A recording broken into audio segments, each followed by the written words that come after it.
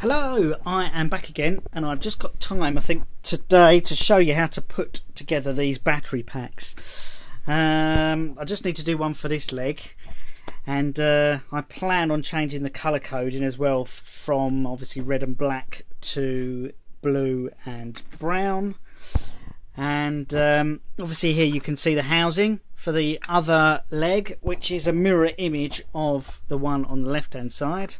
And uh, I've just taken one of these links out just to show you how easy it is to remove this. So I just turn this at 90 degrees and the whole thing comes off. Um, there's a couple of bits that I've made. Uh, designed these little PCBs on the computer um, to help make up these battery packs um, this piece here goes in the center between the cells and uh, these end caps here go one on the positive side one on the negative side and I'm going to put these um, kind of poly fuses uh, resettable fuses in the positive side and I'm just going to show you quickly how to do that Right, there's all the components laid out on the bench there. I've got the poly fuses, two cells, end caps, the centerpiece, and obviously this plastic um, acrylic tubing that I'm using, which obviously when it's finished goes inside there. And because of the inside diameter of this acrylic, there will be a gap, and I'll show you why. That is essential soon. Right, I'm going to begin the assembly of this pack by doing the end caps. So I'm going to do the positive side first, which is the side with the polyfuses, which you can just about see on the top.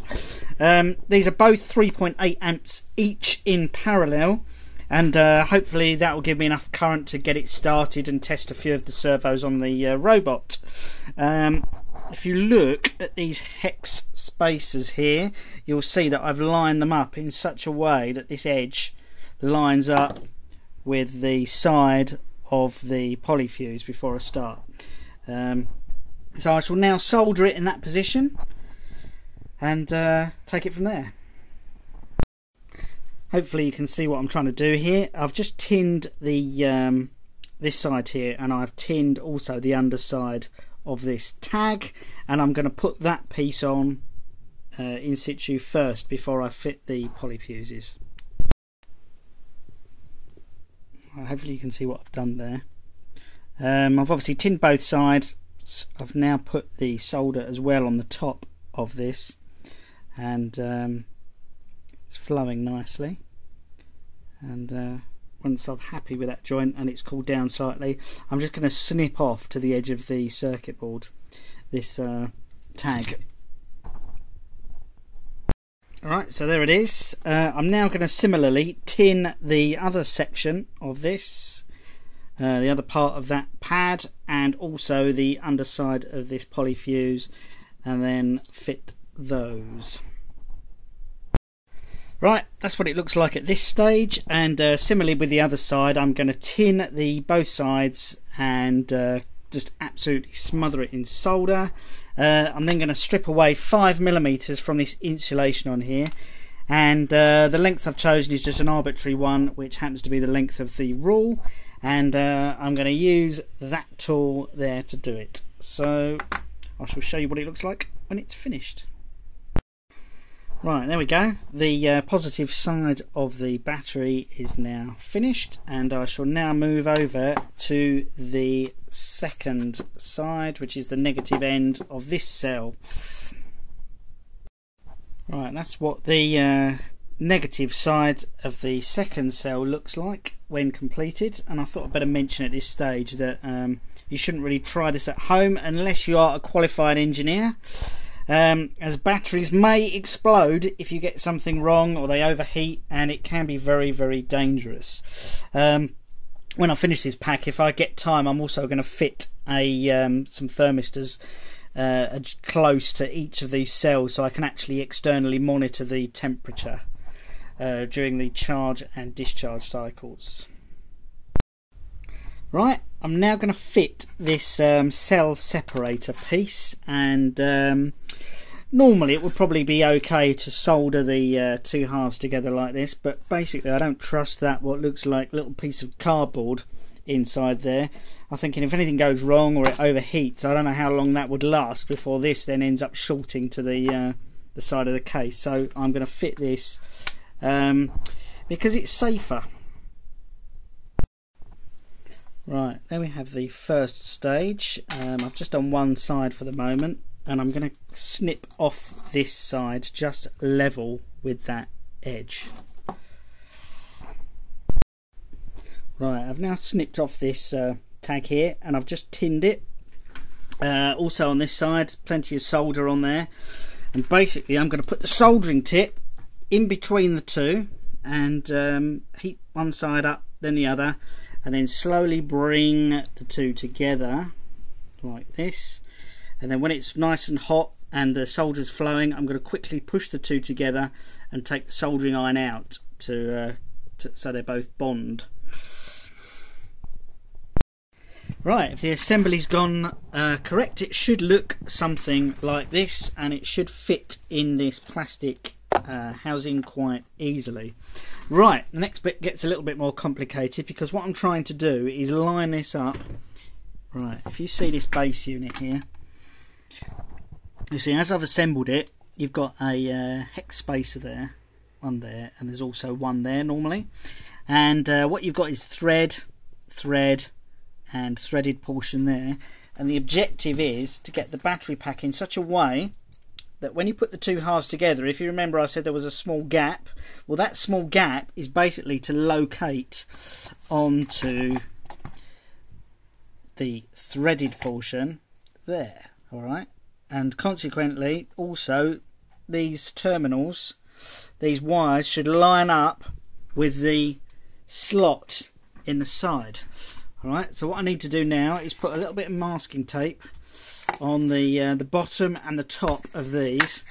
Uh, I'm going to offer it up um, to get the rough location. And then I'm going to drill a hole in there so this will protrude through the hole and then when I assemble it uh, everything will be in the right position. So if I need to do any more detail I will show you. Right, I've just put a bit of masking tape on each end here and what I've also done is measured the distance between here and here because obviously that is the distance between the holes on uh, either side. I mean the whole thing is designed to be symmetrical so you'll have the same distance from this side as from this side. And I've just measured that on this particular one as 100 and 87 I mean it might vary slightly depending on how accurate you were with uh, this. Obviously if it's slightly wider uh, we shall see. Right I've temporarily assembled the pack in this way so I can now offer this up to the base. I've just bent that up slightly and this is now protruding uh, out of the lower end. And if I offer this up over here you will now see that locates. Now what I need to do now is draw with a pen between the two slots and that will give me the center position uh, for the hull.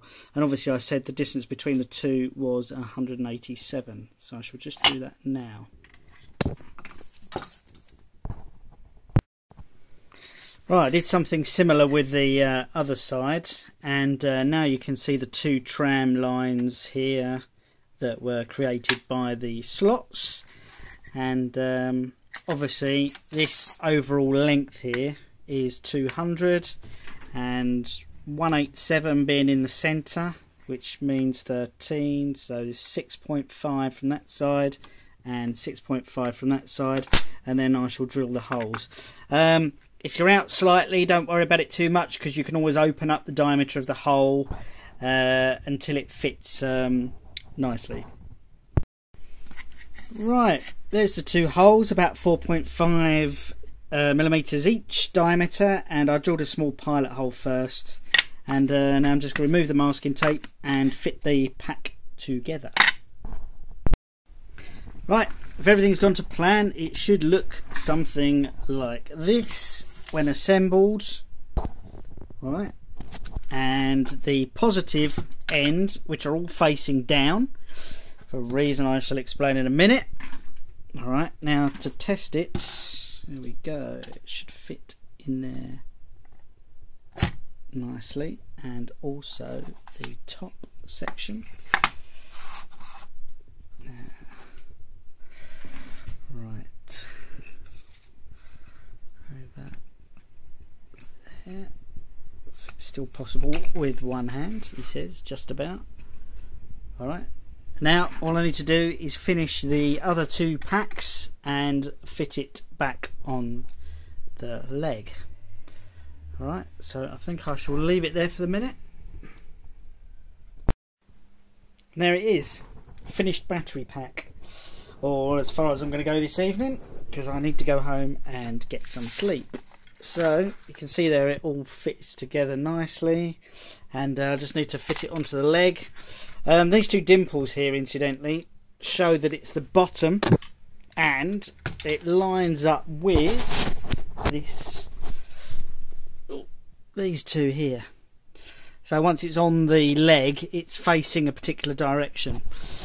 And um, another thing I was going to mention now I'm out of focus um, another thing I was going to mention is this um, positive uh, end is always facing down, and the reason is is because if these batteries go wrong for some reason, and uh, heaven forbid they explode in some way, um, it's the top of the battery that tends to fire off.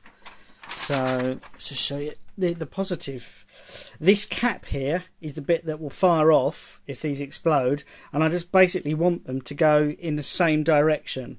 So it gives me an element of predictability. If anything's likely to go wrong I can I can kind of envisage what might happen. So that was the reason for that.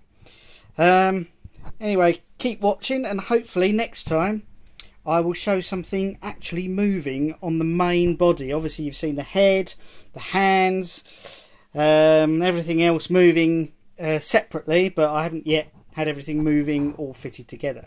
So um, watch this space, and uh, it won't be too long before you start seeing other parts move.